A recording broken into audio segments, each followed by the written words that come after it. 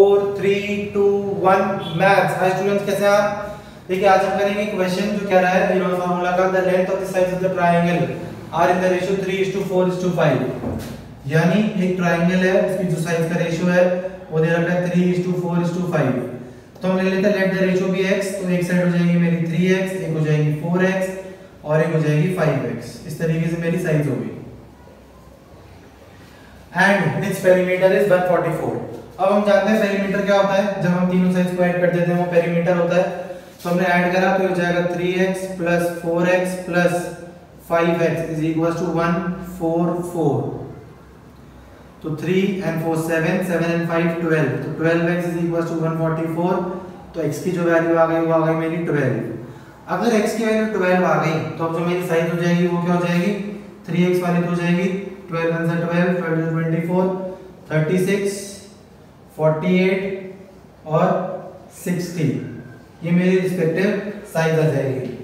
अब इस ट्रायंगल का एरिया निकालना है मेरे को. तो सबसे पहले सेमी पेरीमीटर निकालेंगे. सेमी पेरीमीटर वही, क्या हो जाएगा? A plus B plus C upon two तो ये जो आ जाएगा आ जाएगा मेरे पास 72 अगर अब मैं एरिया निकालूँगा तो क्या आ जाएगा?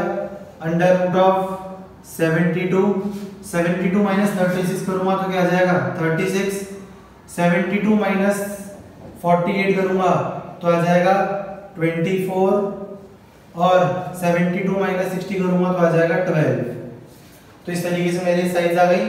अगर मैं इसको देखिए ब्रेक करूँगा तो क्या आ जाएगा? इसको मैं ब्रेक कर सकता हूँ, सबको 12 के रिस्पेक्ट में कर लूँगा। तो 12 6 72 होता है। ये तो 36 तो डायरेक्टली स्क्वायर होता है तो ऑटोमेटिकली इसको ब्रेक करने की ज़रूरत है नहीं। इसको ब्रेक कर लूँगा तो हो जाएगा 6 4 जार 24 और ये 12 वैसी केस है।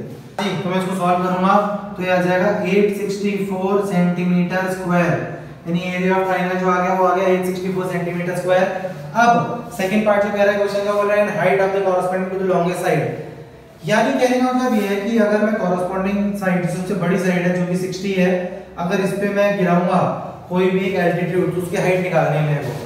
कैसे करेंगे? हम जानते हैं एरिया ऑफ़ ट्रायंगल है। अगर चाहे ह्यूरॉन्स फॉर्मूला से निकले, चाहे हाफ़ बेस इनटू हाइट से निकले, आएगा तो हमेशा सेम ही। तो देखिए, अभी अभी जो मैंने ह्यूरॉन्स फॉर्मूला से एरिया निकाला है, क्या मैं उसको half base into height equal कर लूँगा? हाफ़ बेस हो जाएगा 60 और हाइट हो जाएगी x तो हो जाएगा 3 0 तो 3 1 जा 3 3 2 जा 6 116 2 26 3 8 जा 24 24 2 कैरी 24 3 8 जा 24 इज़ इक्वल टू 10x तो x की जो वैल्यू आ गई वो आ गई 28.8 सेंटीमीटर यानी ये लेंथ है, अगर मैं लॉन्गेस्ट साइड पे एल्टीट्यूड गिराऊँगा तो। तो देखा आपने, बहुत इजी सिर्फ़ कैलकुलेशन बेस्ड क्वेश्चन कोई भी डाउट हो कुछ पूछना हो तो please do let us thank you